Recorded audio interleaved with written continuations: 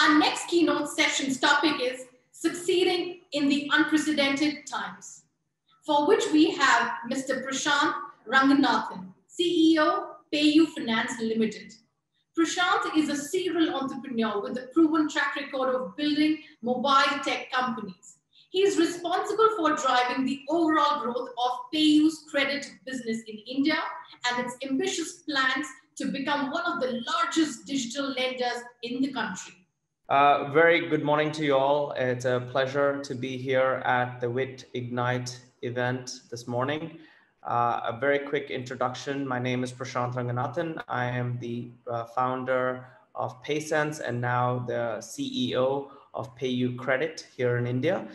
Um, just very quickly to kind of walk you through my own background, uh, I founded PaySense, which is a consumer lending startup based here in Mumbai uh, back in 2015. And I ran it until a successful merger with PayU uh, earlier this year in Jan 2020.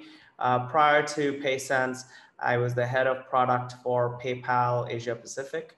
Uh, so based out of Singapore, I looked after India, China, Southeast Asia, Hong Kong, Korea, Taiwan, uh, Australia, and Japan. Um, a phenomenal experience to look at uh, all the emerging payment trends across across the region. Uh, definitely gave me a very broad uh, set of experiences uh, that that I remember quite fondly. prior to prior to that stint, I was the head of product and new ventures risk for uh, PayPal globally. I'm based out of San Jose. I worked for the chief risk officer for PayPal and uh, launched their, my claim to fame was I launched their consumer credit as well as their merchant credit business, which both of them are which uh, multi-billion dollar businesses now. Came into PayPal through an acquisition. I founded a company called TrueBee Security back in 2011, uh, which was acquired by PayPal. Prior to that, I ran another consumer consumer communication startup, mobile communication startup called uh, Say Now, which I sold to Google. Uh, I'm a software engineer by, by training. Uh, started off my career at Microsoft, uh, then went on to study uh, bioinformatics at Stanford before becoming an apprentice to Marc Andreessen. Uh, and then I've been a founder and a corporate employee for, for various years since. Um, so way back when, grew up here in India. I was a I was a defense kid. My dad flew for the Indian Air Force, uh, so lived all over India before moving to Australia and then moving uh, to the United States for college. And full boomerang, I'm right back here um, and building, uh, building now building PayU Credit. Um, today, I actually wanted to spend a little bit of time talking about succeeding in unprecedented times. And uh, truly, what unprecedented times we live in, right? Uh, we just had the US uh, presidential elections. Uh, we are at a time where uh, we, we are truly in the middle of a, a pandemic where global economies have come, come down on their knees. Millions of folks are out of work. Um, you know, economies, like I mentioned, have shrunk quite significantly. Uh, countries are in deep recessive state. Sectors wiped out. Uh, there's no cure in sight. There's no vaccine um, to kind of bank on and uh, with lockdowns and martial laws becoming an almost everyday event in various parts of the world uh, and with a multi-year recovery and you know uh, as planned i think these are i would say uh, undoubtedly unprecedented times and um, and this image uh, in front of you is is truly a, a capture of of the times we live in um, now, unprecedented times uh, also bring unprecedented opportunities.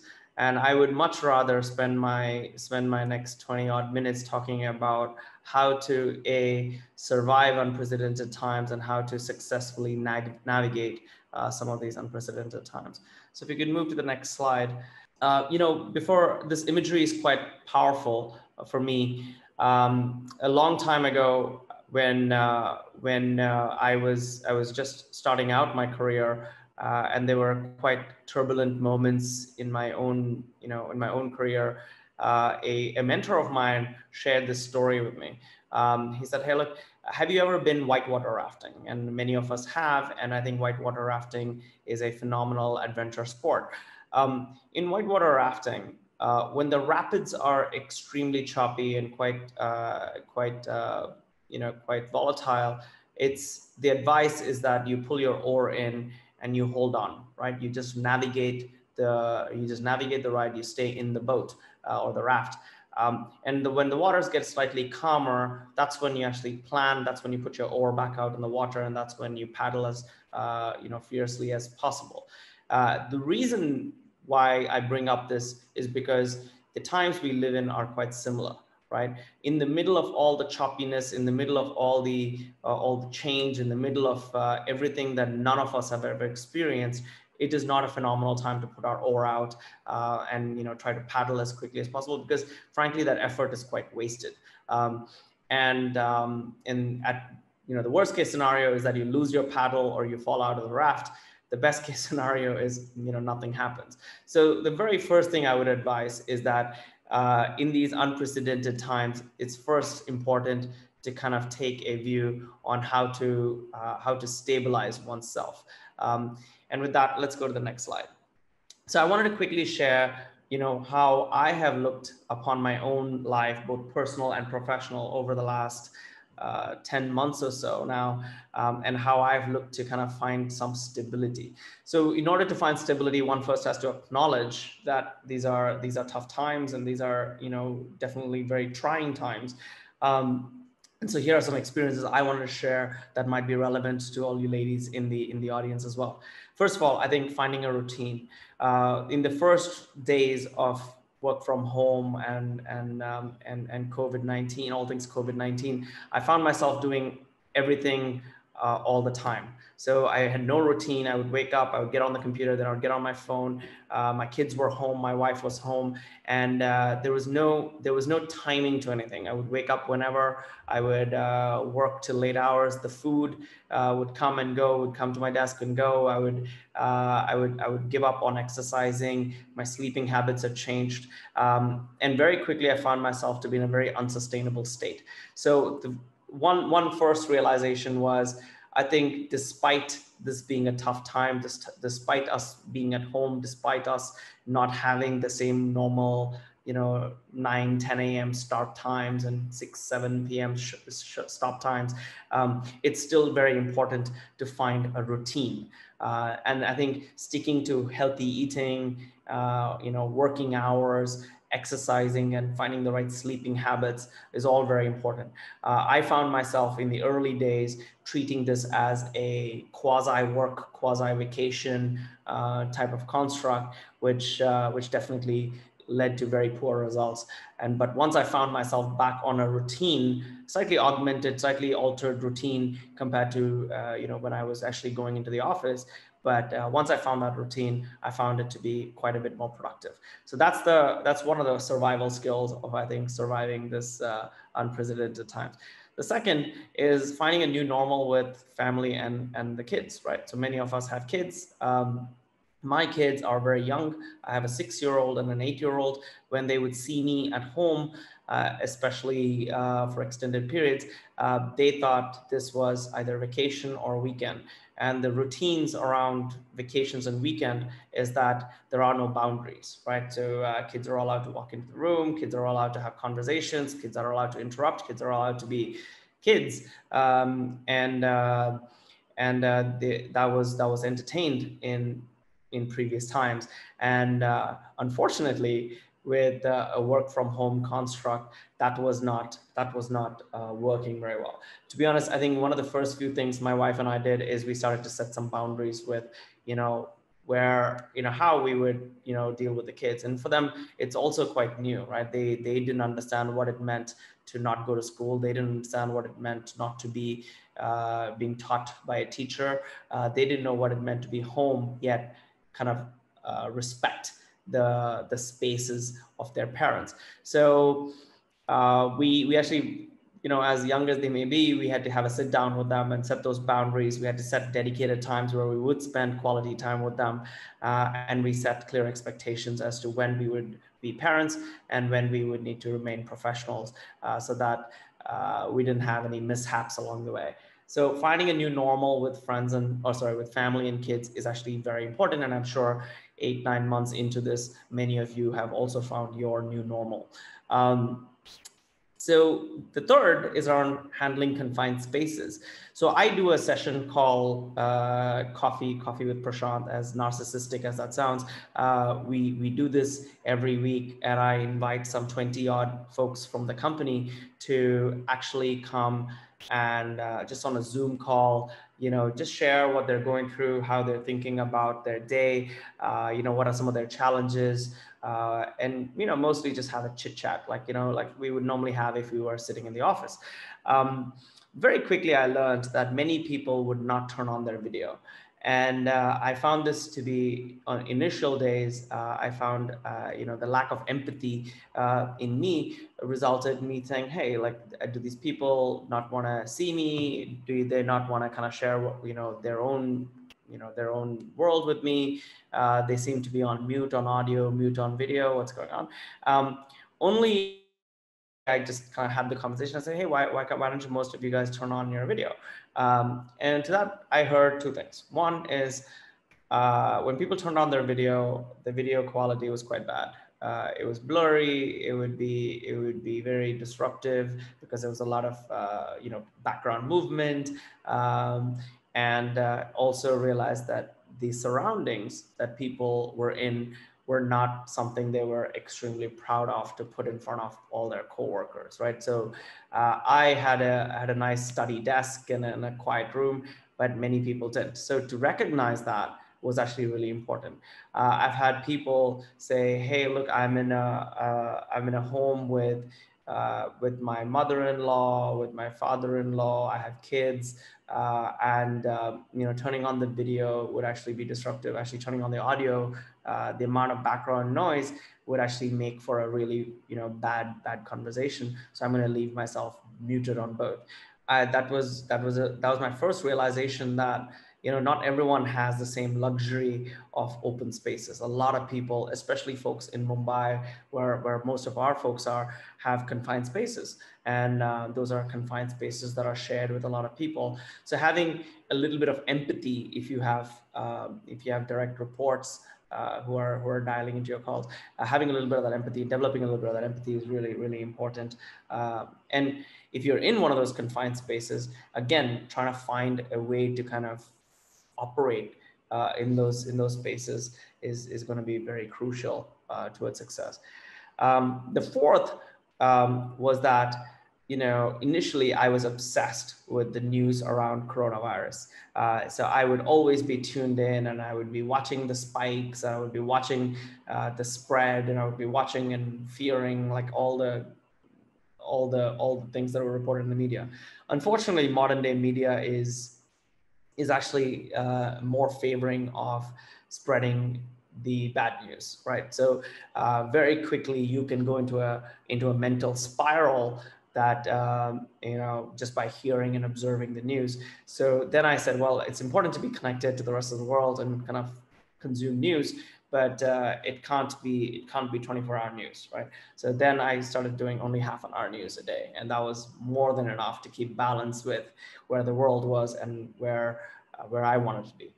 Um, the fifth um, is around social versus physical distancing right? So uh, i realized that in order for me to survive um, i am an extremely social creature uh, and i needed to see people uh, I needed to be with people. I, I understand the risks and I understand the precautions one needs to take, but physical distancing is something I was I was willing to take on. Social distancing never made sense to me. Uh, in fact, uh, there is no such thing as you know um, a spread due to social interactions, as long as those social interactions have the right physical distancing uh, associated with them. So I, I, think whoever coined social distancing as the as the term uh, should have thought that through a little bit more uh, because it's physical distancing that's that's truly important. And it's also important to acknowledge the difference between the two. There is no reason not to see people.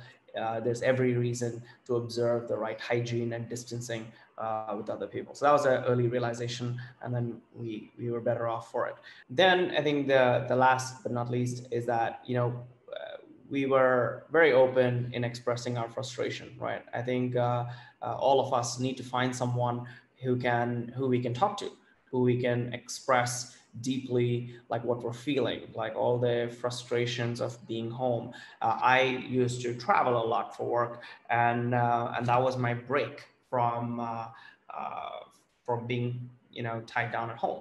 Uh, suddenly, we were all spending you know 24 hours a day with uh, with our families, and that's that's good, but that's also can be frustrating. Um, and uh, for those, and I have many employees uh, and, a, and, a, and, a, fair few female employees who have come up and said, "Hey, I live you know, for now, I've, you know, we've moved back to our in-laws home.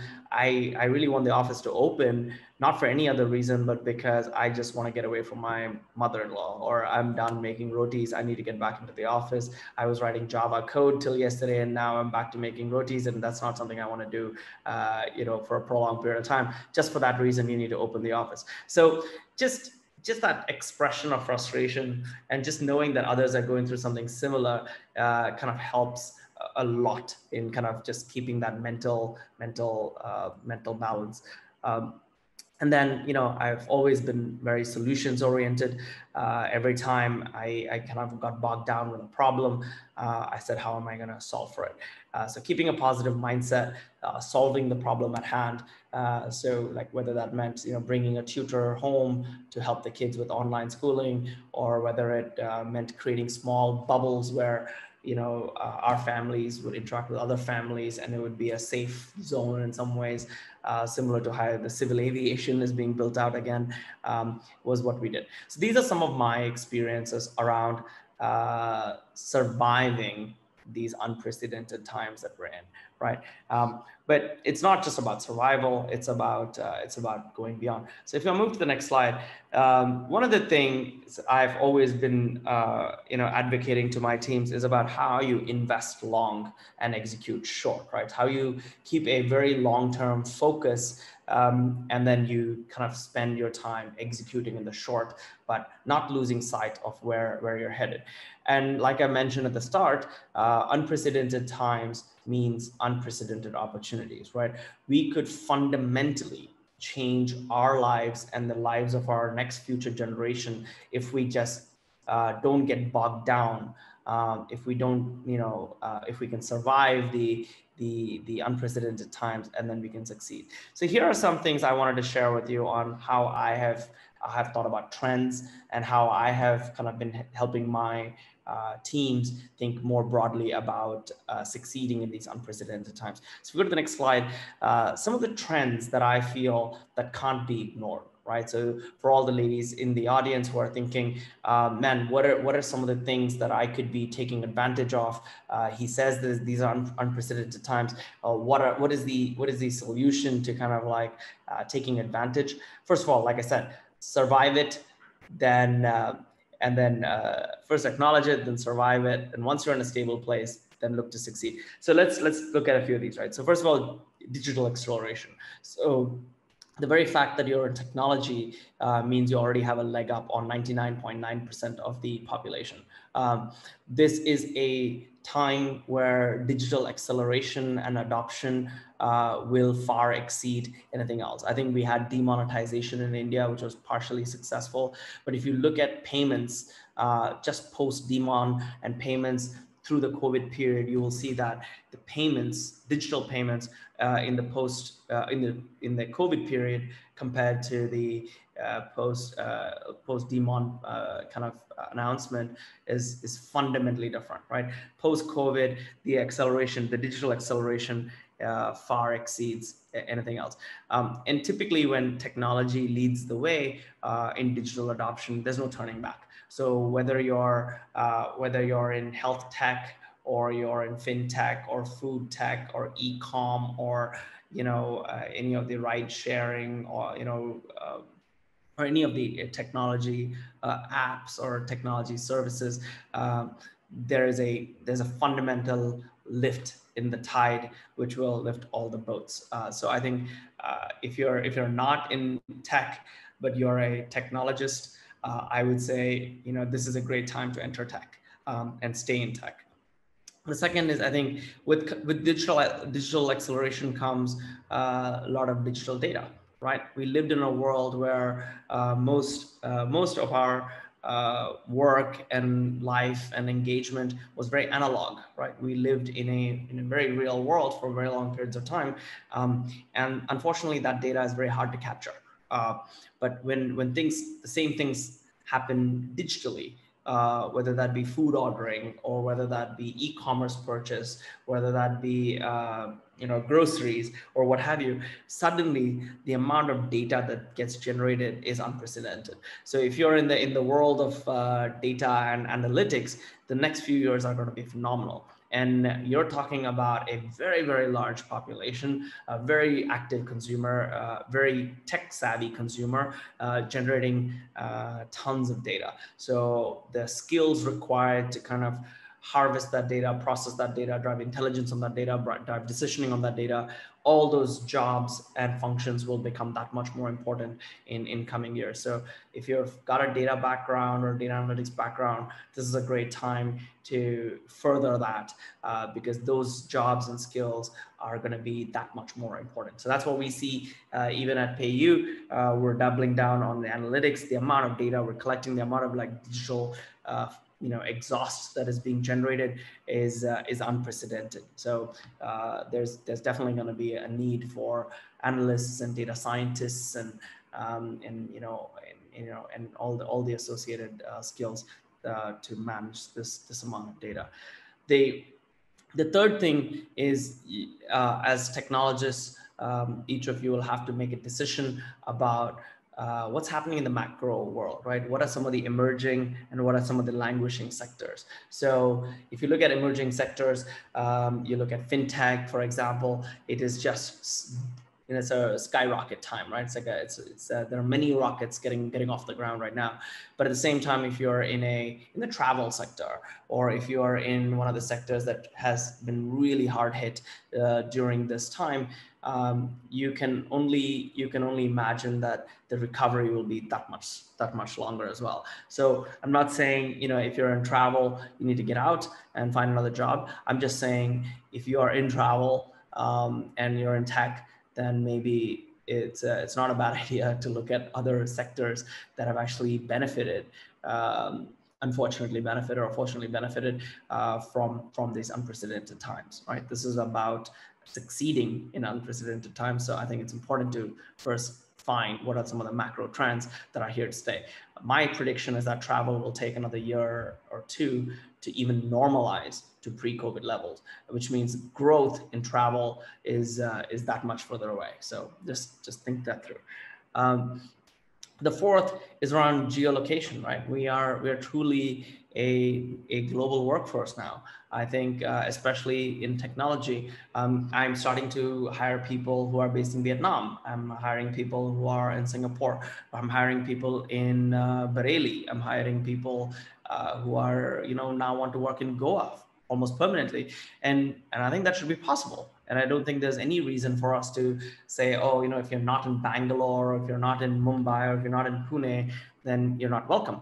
Um, because I think one thing that we've learned, and it's almost impossible to unlearn, is that uh, when we hold technology jobs, those jobs are truly portable uh, and are not confined to uh, specific geolocation. Now, um, it's always great to have an office to come to. It's always nice to kind of be a part of a culture. It's always it's good to enjoy things, but uh, it's not a be all end all anymore. I think there are there are mixed uh, or there are different schools of thought on in terms of location.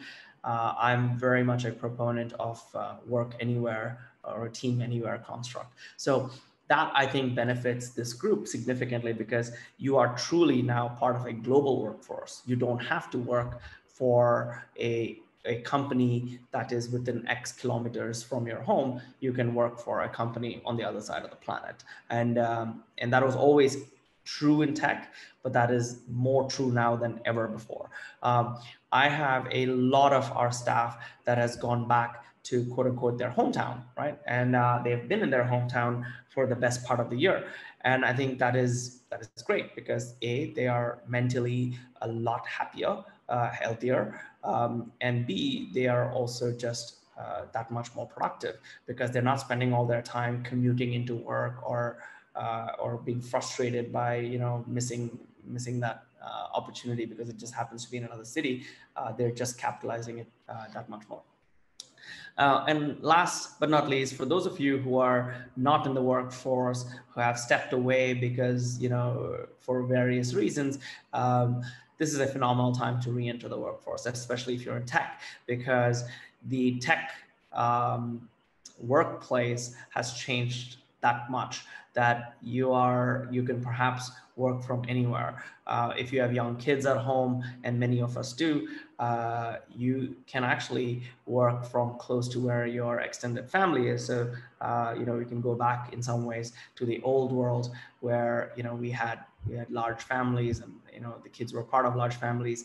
Um, and that also gave all of us an opportunity to kind of uh, you know spend our times you know wisely at work so i think if it's if if uh, some of those reasons were keeping you from being in the workforce this is truly a, a good time to re-engage and, and come back because i think the flexibility is uh, is definitely unprecedented just like the times are um, so these are some of the trends I'm observing. Uh, I do see uh, the women at PayU uh, being a big change agent. Uh, in fact, uh, they are they're uh, they're often far more resilient than than many of us uh, and and they kind of bring that really positive attitude, which uh, which is which is great from a uh, both from a diversity perspective, diversity of thought, as well as a diversity of um, of, uh, of the workforce.